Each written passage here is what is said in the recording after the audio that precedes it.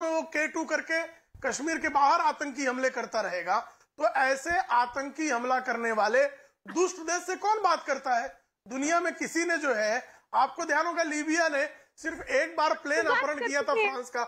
Libya hostile कर दिया गया था कि नहीं? तो नॉर्थ कोरिया से लोग क्यों नहीं बातचीत करते हैं?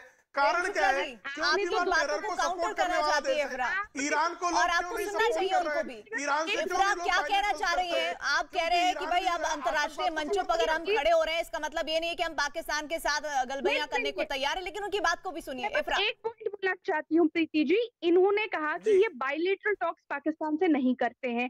2020 में इन्होंने बायलेटरल टॉक्स प्रॉपरली पाकिस्तान के साथ दुबई में बैठ के की थी और एक डीजीएमओ की बातचीत को बायलेटरल नहीं कहते थोड़ा पढ़ लिख कर आया करिए। डीजीएमओ लेवल की बातचीत तो युद्ध के समय भी होती है। इतनी समझदारी तो आप रख दिखाइए थोड़ा पढ़ा लिखा करिए। इफरा जान थोड़ा पढ़ने लिखने से ज्ञानवर्धन होता है ज्ञानवर्धन होने से तर्क बढ़ते हैं और तर्कों की से बात जो है कर बात लीजिए किया प्रेम करिए। शुक्ला जी पहले उनको डीजीएमओ तो लेवल की बातचीत। अगर वो डायरेक्टर गलत जनरल बोल ऑफ़ रहे हैं तो मिलिट्री कह ऑपरेशन दीजिएगा। जो है लेकिन बात तो सुनिए कम से कम।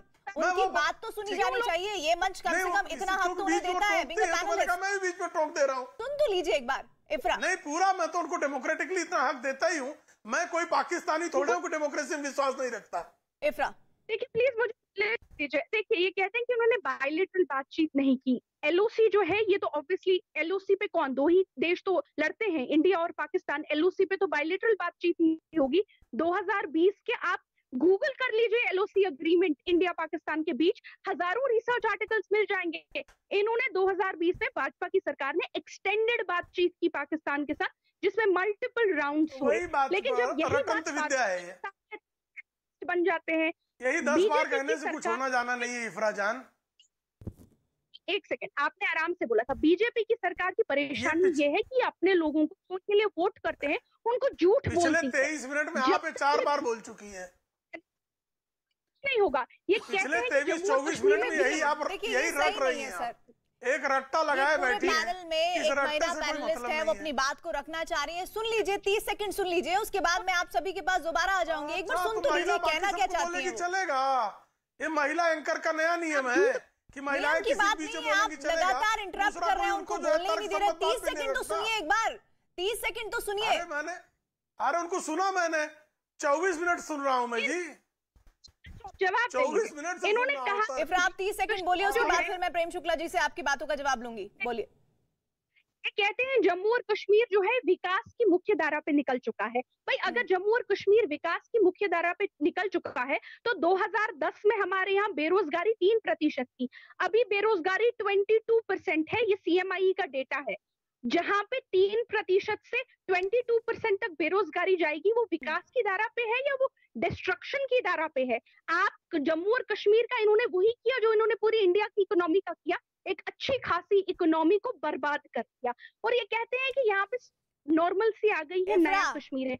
आपकी बातों से मुझे है- शहजादपुरा वाला नहीं संतुष्ट नज़र आ रहे हैं। और शायद आपने गृह मंत्री के उन ऐलानों को और उनकी उपलब्धियों को जम्मू कश्मीर में क्या रही है वो शायद नहीं सुना था जो केंद्र सरकार की उपलब्धियाँ थी। शायद उसी पर शहजाद कुछ कहना चाहते हैं। शहजाद।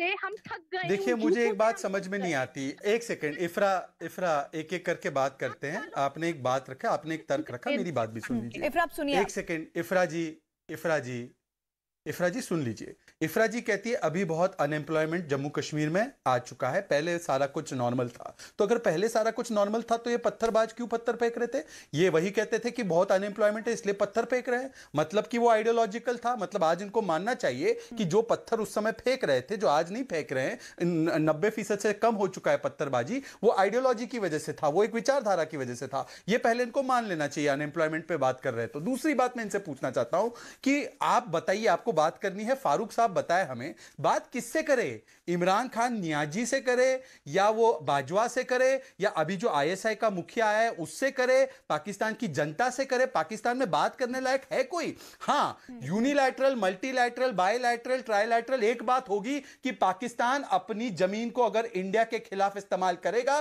तो सर्जिकल स्ट्राइक भी होगा, बालाकोट एयर स्ट्राइक भी होगा और आगे जाके और भी चीज़ें होंगी, क्योंकि ये मनमोहन सिंह की सरकार नहीं है कि 26 ग्यारह करके चले गए और हमने एमएफएन स्टेटस भी नहीं हटाया। ये सरकार वो सरकार है कि अगर एक दोगे तो हम सामने आपको उसका मुँह तोड़ जवाब देंगे। और कश्मीर के विषय में भी बहुत क्लियर है कि अगर खीर मांगोगे तो हम आपको खीर चावल मांगोगे खीर देंगे। कश्मीर मांगोगे तो चीर देंगे। ये बड़ा क्लियर कट लाइन है। अब किसी को बुरा लगे तो उनकी प्रॉब्लम है।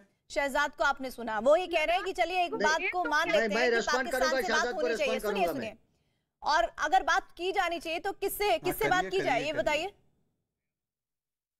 देखिए यहाँ पर सबसे महत्वपूर्ण बात ये है कि जम्मू कश्मीर के पूर्व मुख्यमंत्री अमित शाह जी ने भी कहा कि उन एक अनुभव है उनके पास और वो चुने हुए नुमाइंदे हैं लोगों के डॉक्टर फारूक साहब उनकी पार्टी के साथ हमें आइडियोलॉजिकल डिफरेंसेस भी हो सकती है लेकिन उन्होंने जो चुने हुए नुमाइंदे हैं।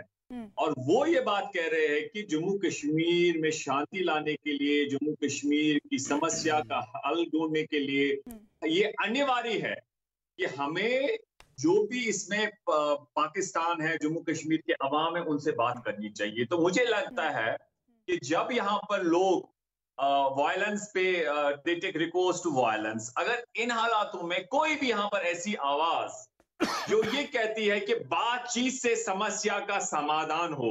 मुझे लगता है देश हित में ये है कि आप सब लोगों को भारत सरकार को या मीडिया के जो भी लोग हैं आपको इसका स्वागत करना चाहिए कि कश्मीर में कोई कहता है कि भाई ये बंदूक से मसला हल नहीं होगा ये अल्टीमेटली ये मसला बातचीत से वार्ता से और इसमें कोई रॉकेट साइंस मैम इन्वॉल्व नहीं है। जी, आप मैं मैं मुकम्मल कर रहा हूँ मैम। इसमें कोई रॉकेट साइंस इन्वॉल्व नहीं है। एक कश्मीर का हिस्सा उनके पास है। तो अगर आपको इस समस्या को सुलझाना है माजी में हमने कहीं युद्ध किए सर्जिकल स्ट्राइक्स की अभी हमारे शुक्ला जी हमारे शायद शुक्ला जी है वो कह रहे हैं कि जो कश्मीर हमारे कंट्रोल में है नियंत्रण में है उसका मतलब हुआ इन्होंने एक एक ऐसी बात गैर जिम्मेदाराना बात की कहा कि कंट्रोल में तो मेरे कहने का मतलब ये है कि यहाँ पर केवल वार्ता ही एक विकल्प है। Dialogue leads to resolution I am not saying history is witness to the fact ultimately dialogue is the way forward मैं मुकम्मल कर रहा हूँ शहजाद की बात पर रिएक्ट करना चाह रहे थे। ये बात ये है कि बात सही है कि बंदूक उठाकर हल नहीं निकलता है लेकिन उस बंदूक को। ना उठाने के लिए कुछ स्थितियाँ तो बने। अहमद अयाज जी नहीं, वही हम कह रहे हैं, देखिए अगर हम फारूक साहब का ये ले लेंगे कि बातचीत नहीं करेंगे